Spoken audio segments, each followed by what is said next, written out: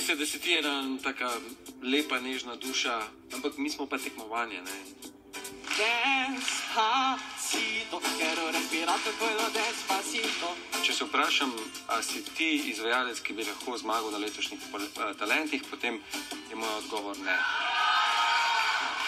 Žal, ne greš na steni krok. Evo Branko je zvezda. Prva audicija sedme sezone je že v polnem zagonu. Ja, Branko je očitno vklopil svoj strogi radar za zmagovalce.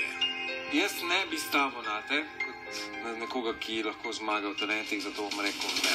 Lahko rečem samo ne. Maš moj ne. Ne greš na steni krok. In breme tega